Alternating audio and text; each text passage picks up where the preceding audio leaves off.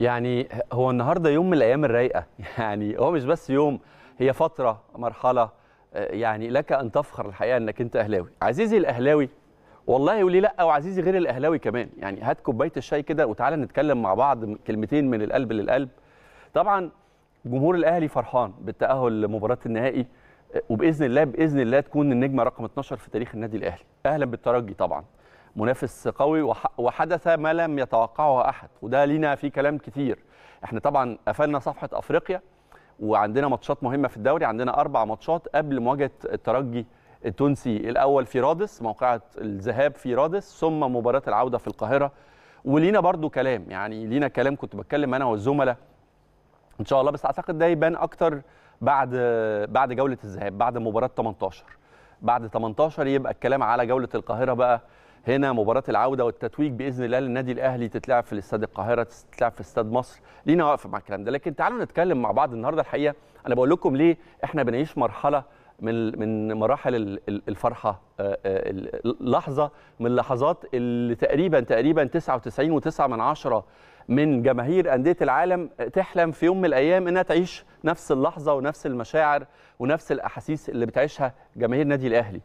على كل المستويات على كل المستويات المرحلة دي بتترجم جزء بسيط من سر عظمة وتوهج النادي الأهلي. انت بتتكلم على تفوق شبه كاسح مش على مستوى المنافسة المحلية لا انت بتتكلم على السيطرة بشكل شبه كامل على كل الألعاب الجماعية في قارة إفريقيا. بتتكلم على إنه الأهلي هو ممثل القارة في ألعاب كرة القدم على مستوى المنافسة العالمي. هو ممثل قارة إفريقيا في كرة القدم في كرة اليد في كرة الطايرة وبإذن الله بإذن الله المشاركة في الجولة الأخيرة أو البطولة الأخيرة أو الراوند الأخير من بطولة البال خلاص الأهلي ضمن بصرف النظر عن نتيجة مباراة النهارده. لكن بإذن الله إن شاء الله الأهلي زي ما عودنا يفرح جماهيره ويكسب النهارده ويتصدر المجموعة ويشارك كصاحب مركز أول. وبإذن الله قادرين على التتويج ببطولة البال اللي إحنا بنحمل لقبها وبإذن الله يكون الأهلي أيضا هو اللي بيمثل إفريقيا في كرة السلة. لكن مش ده الكلام. الكلام للي جاي بعدنا. والكلام اللي فات قبل كده وبنحاول نترجمه مع حضراتكم. للناس اللي اتولدت من قول 20 25 سنة.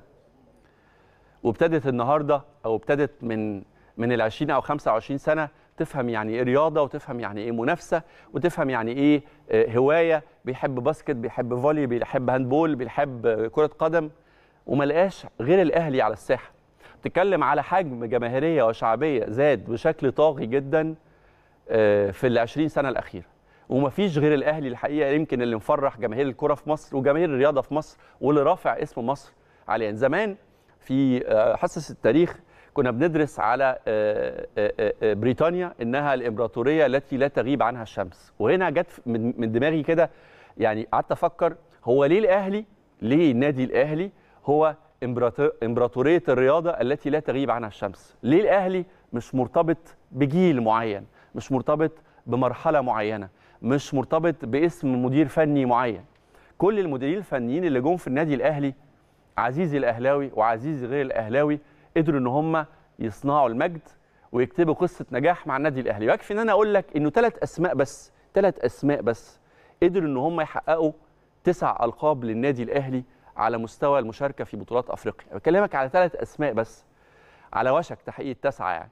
بنتكلم على مانويل جوزيه بنتكلم على آه، موسيماني بنتكلم على مارسيل كولر اللي في خلال سنة واحدة بس حقق اللي ما قدرش يحققه في سنين عمره كلها. رغم إنه لعب في دوريات أوروبا وفاز ببطولات في أوروبا ودرب أندية ومنتخبات في أوروبا لكن المجد والتاريخ كله كتبه هنا مع النادي الأهلي. وده اللي ينطبق بشكل كبير جدا عن جوزيه وينطبق بشكل كبير جدا عن موسيماني.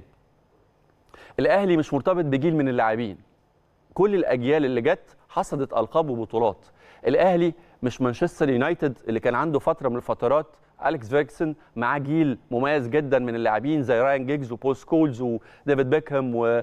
ورونالدو في بداياته ودوايت يورك. وريو فرديناند وفاندر سار قدروا إن هم ياكلوا الأخضر واليابس في المرحلة ثم توقف آه، مانشستر يونايتد عن كتابة التاريخ. ولا هو برشلونة. اللي تحت قيادة بيب جوارديولا وقيادة ميسي وإنيستا وتشابي وبسكتس وديفيد فيا ومن بعده سواريز وكارلوس بيو